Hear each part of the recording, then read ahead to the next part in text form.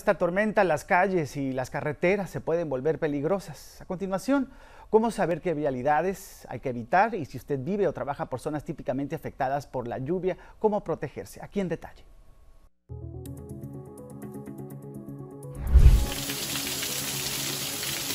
Existen varias herramientas que puede usar antes de salir de casa. Una de ellas es la página de la Patrulla de Caminos de California.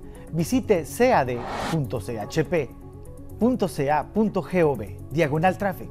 Ahí usted puede ver una lista de los accidentes del día en las zonas cerradas o bien afectadas por dichos incidentes. También puede ir a la página de información del condado de San Diego, 211sandiego.org.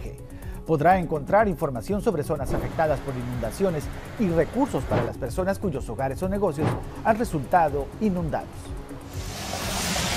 Por otro lado, desde esta noche están cerrados ya Camino de la Reina entre Camino de la Siesta y Avenida del Río, San Diego Mission Road entre Fairmount y Caminito Yucatán, Mission Center Road entre Hazard Center Drive y Camino de la Reina, Camino del Este entre Station Village y Camino de la Reina, Qualcomm Way y Río San Diego Drive.